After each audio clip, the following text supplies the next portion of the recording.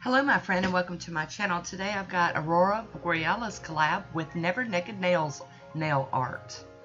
I've started off with Get a Grip as my base coat. This is from Vibrant Vinyls.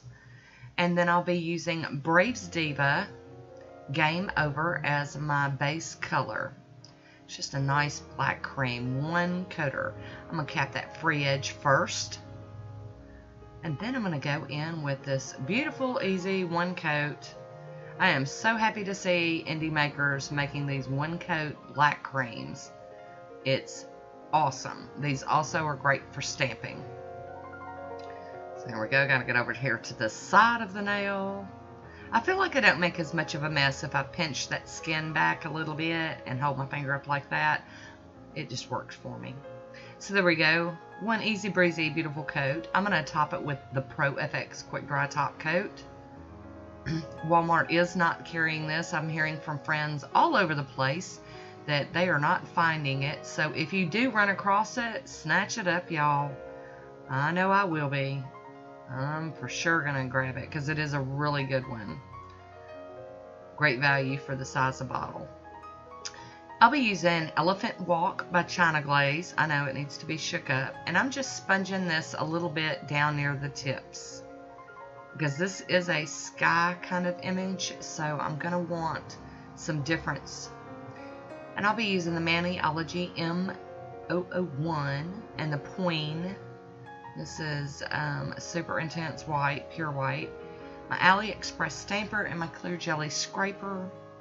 And we're using today this Aurora Borealis image and I'm just stamping the whole image across my nails. I'm picking up enough for each nail and working through that whole image. Um, you can see I've got my thumb done and my other nails. And then, um, there we go. Now I'm going to be using these OPI color paints to fill in the beautiful colors of the Aurora Borealis. I just thought this would be a great way to do this manicure. Um, I thought about it long and hard. Jill and I had been talking about this for quite some time, ever since we got this box with this image on it. So I was really happy to get together and play with Miss Jill over at Never Naked Nails Nail Art. I will have a link for her channel down below. Um, go check her out, see how her mani turned out and what she did. I am trying to blend those, kind of go in between the two colors and blending them a little bit. Um, you know, just to give it some dimension. But I'm using these four colors from the OPI color paints. You could use any kind of jelly, you know, that, that you have on hand. Um, these are kind of opaque jellies. Uh, but, you know, there's ways of, of getting there. Um, like my jellies that I made, they're not super opaque, but they could be. Just need to add some more of those base colors to them. So I'm trying to figure out where I need to add these colors in because I don't want my Aurora Borealis to be all messed up, you know. trying to get all these colors on the nails. And I just loved this idea. I'm so excited Jill invited me to come play with her and do this manicure. Um, this is just one of my favorites. I mean, I, I do have manicures that I dread having to take them off to do another one, but I'm such a nail junkie, you know, these my manis don't last more than a few days at tops. So, but this is one of those that I loved and I wore it and I oh, just loved it, loved it. So there we go with those four. Now on my thumb, I'm going to try to do all the colors on one nail. And you'll see I get a little crazy here and I'm just brushing down over into my gray. So I'm going to go in with my little cleanup brush with a little bit of cleaner, a remover on it just kind of wipe some of that up. I do have to go back in on that tip where I balded it out and put a little bit more gray, but that's not a problem. It's completely fixable. And now I'm going to start with the other colors, just like I did on those other nails. But we're getting all the colors on this thumbnail. It's like the show nail right here.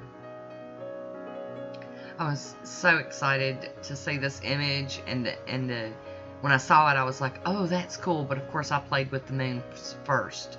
And then um, Jill got in touch with me, and Oh, so excited she did because look how cool this is. And we're not even done yet. I'm not even done playing with this one yet.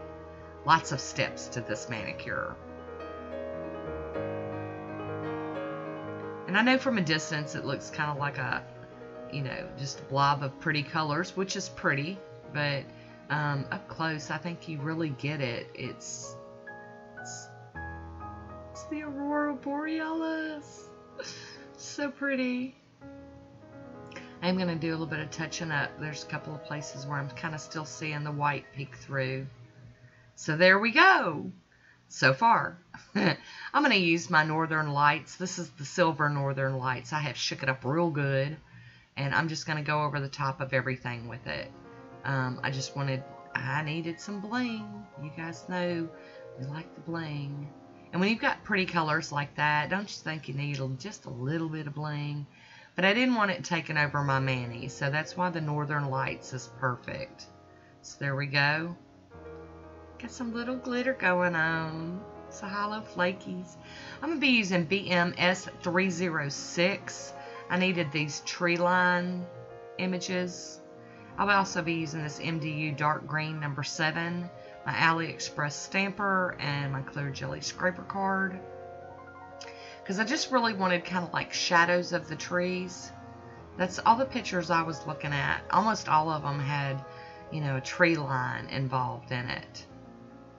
But I stamped these on, and I'm not really that impressed. I can't hardly see them. So I decide uh, I'm going to clean this plate off with some acetone get ready for the next stamp. But now I'm going to go in with this Born Pretty bright green and just add it to the top. Just kind of double stamp over that. It does kind of muddle it up a little bit, but I think it really adds to the dimension and the tree line. Um, if I'd have known about this first, I'd have done the light green first and then the dark green on top of it. So I'll be using the Born Pretty Smudge Free Top Coat. This stinking camera's making me crazy. Okay, it's just not going to pick it up. Stop fighting it, Tina. Just let it go. Sorry, guys. We got two personalities fighting here. The I ain't giving up and the oh yes you are. So I'm going to use that smudge free top coat real quick.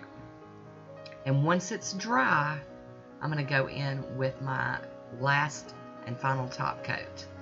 Now today I'm using the Fast and Hard from Vibrant Vinyls. I am hooked on this stuff. I love it. It doesn't shrink. It smells good.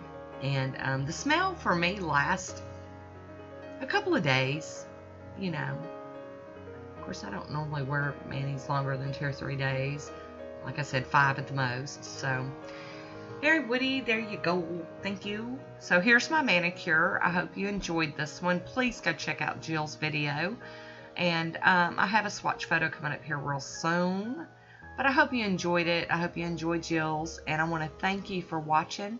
And until next time, be good to yourself. Talk to you soon.